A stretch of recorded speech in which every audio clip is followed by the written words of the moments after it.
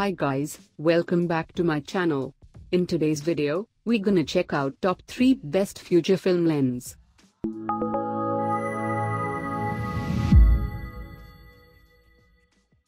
Starting at number 3. Fujinon XF1655mm f2.8.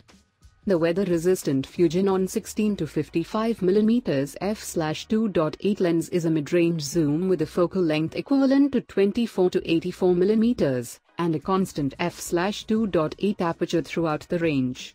It's a pro-grade zoom Fujifilm lens with amazing optics and razor sharpness from edge to edge. If you are ready to make the investment, the 16 to 55mm f/2.8 is the best mid-range zoom Fujifilm produces, and also the most popular all-round focal length zoom available.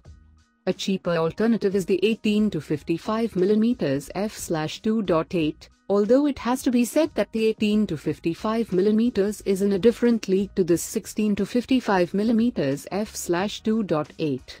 16mm as opposed to 18mm will also give you more flexibility for wide-angle shots too. On a 35mm camera, the Fuji 16 to 55mm f/2.8's closest lens would be the immensely popular 24 to 70mm f/2.8, a zoom range favored by many pro photographers due to its versatility. From wide angle to medium telephoto, a 24 to 70 mm covers it all. On the APS-C sensor Fujifilm cameras, a 16 to 55 mm f/2.8 gives you even more range. If you don't mind the weight, the 16 to 55 mm f/2.8 is technically brilliant, and since the focal range is so versatile, it deserves to remain here as one of the top Fujinon lens options available this year. The top. Check out the description for more information and latest price. Coming at number 2. Fujinon XF23mm f1.4R. For many photographers, this is one of the best Fuji prime lenses ever made. When I tested a range of Fujifilm lens options for this review, I had this Fuji 23mm f/1.4 on my camera 90% of the time. And absolutely loved it. It's usually the smaller prime options such as this one that are the most popular for Fuji X series cameras, since they balance so well as with the camera body. 35mm is arguably the most popular focal length for photographers due to its versatility, being equally at home shooting portraits as well as being wide enough to fill the frame with interest. I've shot with two different Nikon 35mm lenses for over 5 years now, and agree that this compact offering from Fuji can definitely give them a good run for the money. You can check out the full review of this impressive lens here to see how a unit still photographer puts it to good use on film sets. If you look for one of the best Fujifilm lenses with a fixed focal length, the 23mm f/1.4 is definitely up there. It's simply an extraordinary lens at a very useful focal length. Straw and number 1 of this list.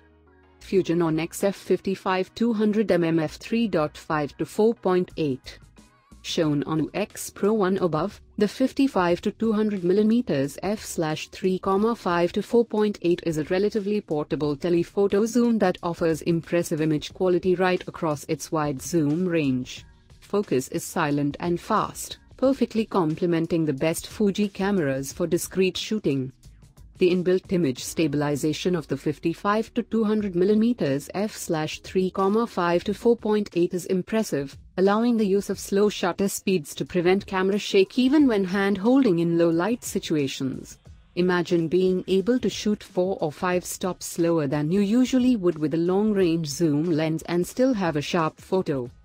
Being able to use slower shutter speeds in low light will allow you to use lower ISOs which in turn leads to a cleaner final image. The 55 to 200 mm focal length when used on a Fuji X mount camera with a 1.52x crop factor shows the same angle of view as an 80 to 300 mm lens on a 35 mm camera. It's great to have such a broad focal range in one lens that's much more compact and lightweight than an equivalent lens for a full-frame camera, and also that it can be used for close-ups too. With over 100 5-star reviews on Amazon, The 55 to 200 mm f/3,5 to 4.8 is one of the best Fuji zoom lenses, an excellent all-round choice with a useful telephoto range and high image quality. All of these items are available on Amazon.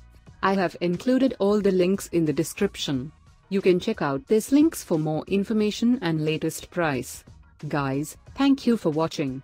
If you like this video, please hit the like button, share with your friends and be sure to subscribe.